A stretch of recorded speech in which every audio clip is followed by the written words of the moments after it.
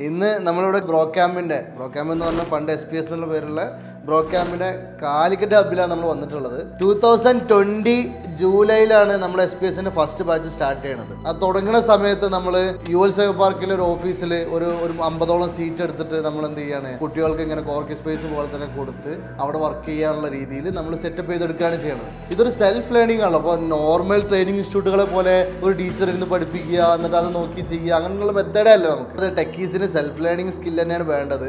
അപ്പോൾ അത് അച്ചീവ് ചെയ്തെടുക്കണം അത് അച്ചീവ് ചെയ്താൽ മാത്രമേ ഹൈ ഗ്രോത്ത് അവർക്ക് ഉണ്ടാവുള്ളൂ എന്നൊക്കെയുള്ള കാര്യങ്ങൾ പറഞ്ഞ് മനസ്സിലാക്കി കുറച്ച് പേരുമായിട്ട് നമ്മൾ പ്രോഗ്രാം സ്റ്റാർട്ട് ചെയ്യണ സമയം. ആ സമയത്ത് നമ്മുടെ കൂടെ നിന്നവരും എതിരെ നിന്നതും കുറച്ച് ആൾക്കാരുണ്ട്. അപ്പോൾ ആ എതിരെ നിന്ന ആൾക്കാരെ കുറിച്ചാണ് നമുക്ക് ഇപ്പോൾ പറയാനുള്ളത്. നമ്മുടെ ഇവിടെ നമ്മുടെ കമ്പനീസിനെ സപ്പോർട്ട് ചെയ്യണം എന്നൊക്കെ പറഞ്ഞു നിൽക്കുന്ന കുറേ ആൾക്കാരുണ്ട്. പേരൊന്നും എടുത്ത് ഞാൻ പറയുന്നില്ല.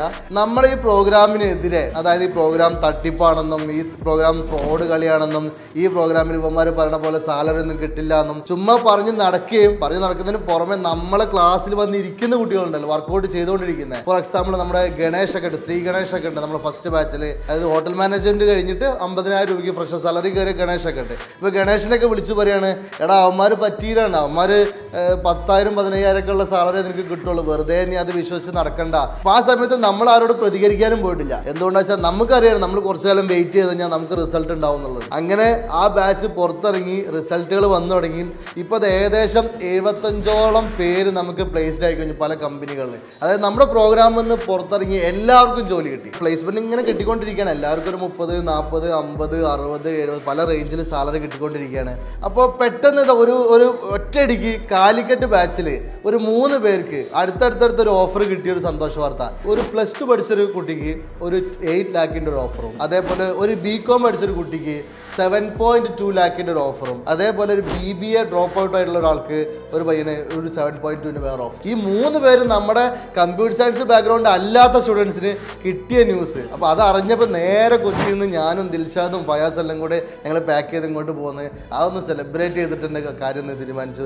അതേപോലെ നമ്മൾ അന്ന് മുതൽ മനസ്സിൽ വെക്കുന്ന കുറച്ച് ആൾക്കാരുണ്ട്. അതായത് ഇങ്ങനെ നമുക്കെതിരെ സംസാരിക്കുക നമ്മുടെ പ്രോഗ്രാമിനെതിരെ കുറ്റം പറഞ്ഞുകൊണ്ടിരിക്കുന്ന ആൾക്കാർക്ക് ഒരു മറുപടി ആയിട്ട് ഇതൊക്കെ ഒന്ന് കാണട്ടെ അവർ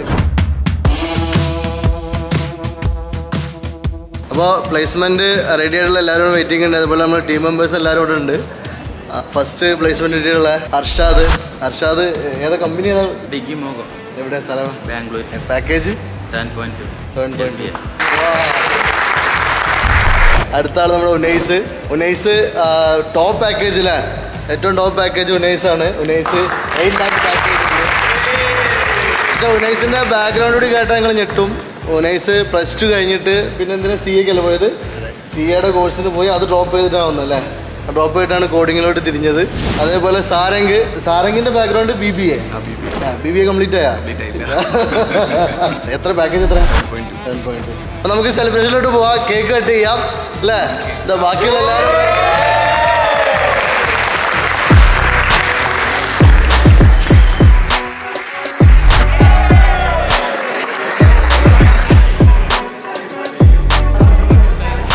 വർക്ക് ചെയ്ത് അതേ പാറ്റേണിൽ വർക്ക് ചെയ്ത് ഇവരെക്കാട്ടിയും വലിയ പാക്കേജിൽ കയറുക എന്നുള്ളതാണ് ഞാൻ അടുത്തൊരു ടാർഗറ്റ് ആയിട്ട് കാണുന്നത്. ഇപ്പൊ ഞങ്ങൾക്ക് എല്ലാവർക്കും ഭയങ്കര കോൺഫിഡൻസ് ആണ്.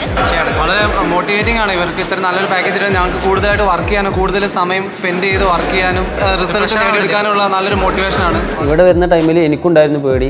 ഇങ്ങനെ അച്ചീവ് ചെയ്യാൻ പറ്റുമോ എന്നുള്ള പേടിയൊക്കെ ഉണ്ടായിരുന്നു. സെൽഫ് ലേണിംഗ് ആയതുകൊണ്ട് തന്നെ ഭയങ്കര ചലഞ്ചിങ് ആയിരുന്നു. ഇനീഷ്യലി ഞാൻ അത് ഫ്രണ്ട്സിന്റെ അടുത്ത് ഇങ്ങനെ ഒരു പ്രോഗ്രാമിനെ പറ്റി പറഞ്ഞപ്പോൾ അവരൊക്കെ ഓരോന്നും വലിയ ഇതില്ലായിരുന്നു വിശ്വസിച്ചില്ലായിരുന്നു. പക്ഷേ നമ്മൾ എന്ത് ചെയ്യുക ഒരു സിക്സ് മന്ത് ഇവർ പറയുന്ന സമയത്ത് നമ്മൾ ഹാർഡ് വർക്ക് ചെയ്യാൻ തയ്യാറാവുക. ഭയങ്കര ഇൻട്രസ്റ്റഡ് ആയിരുന്നു. ഒരു അറിവ് വരുമ്പോൾ തന്നെ അതിൽ ചിലപ്പോൾ ഒന്ന് രണ്ട് ദിവസമൊക്കെ അതിൽ തന്നെ നോക്കിയിരുന്നിട്ടുണ്ട്. ഡേ നൈറ്റ് വർക്ക് ചെയ്തിട്ടാണ് എനിക്ക് എന്ത് ചെയ്തത്? ഈ ഗോളിൽ എത്തിച്ചേരാൻ പറ്റിയത്. അപ്പോൾ ഞാൻ ഇങ്ങനെ ത്രീ സിക്സ്റ്റി തൗസൻഡ് പ്ലേസ് ചെയ്യുന്ന കാരണം പറഞ്ഞപ്പോൾ അവർക്ക് വിശ്വസിക്കാൻ പറ്റാത്തൊരു ഇതായി. രാവിലെ ഏഴ് മണിക്ക് വന്ന് നൈറ്റ് പതിനൊന്ന് മണിക്ക് പോയി. സൺഡേ അതൊന്നും ഓർക്കാതെ വർക്കൗട്ട് ചെയ്തു. അതുപോലെ ഈ സിലി റീസൺസിന്റെ ലീവ് ഒന്നും എടുക്കാതെ. അവർക്ക് എപ്പോഴാണോ ഞാൻ ചെയ്തു എന്ന് തോന്നുന്നത് അതുവരെ വർക്കൗട്ട് ചെയ്യുന്ന കുട്ടികളാണ് ഇങ്ങനെ പ്ലേസ് ആവുന്നത്. പത്തോ പതിനഞ്ചോ ഇരുപതോ കിട്ടുള്ളൂ. നിങ്ങൾക്കൊന്നും കിട്ടൂല.